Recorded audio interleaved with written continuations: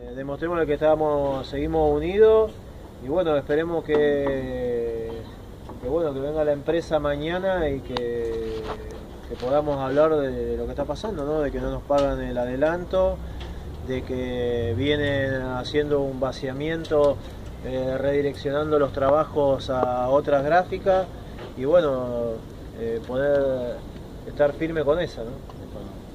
Así que bueno, queremos agradecer también a, bueno, a todos los compañeros que vienen eh, apoyando las medidas que venimos tomando, a, los compañeros de las agrupaciones eh, que vienen a, a apoyar en este conflicto.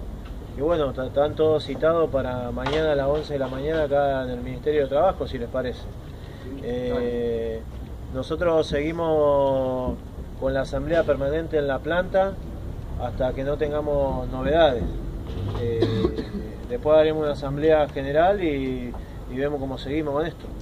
Pero esto, este, esto que se consiguió ahora de que haya una audiencia fue porque estamos acá haciendo ruido, eh, cortando la calle. Si no, si no hubiésemos hecho todo esto, eh, no se hubiese fijado la audiencia.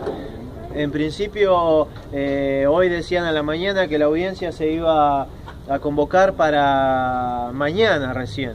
Pero bueno, presionando, eh, manteniendo el corte y el ruido y todo eso, eh, se sacó una audiencia para hoy. Hagamos lo mismo que hicimos hoy en la plaza, nos, nos, en la plaza.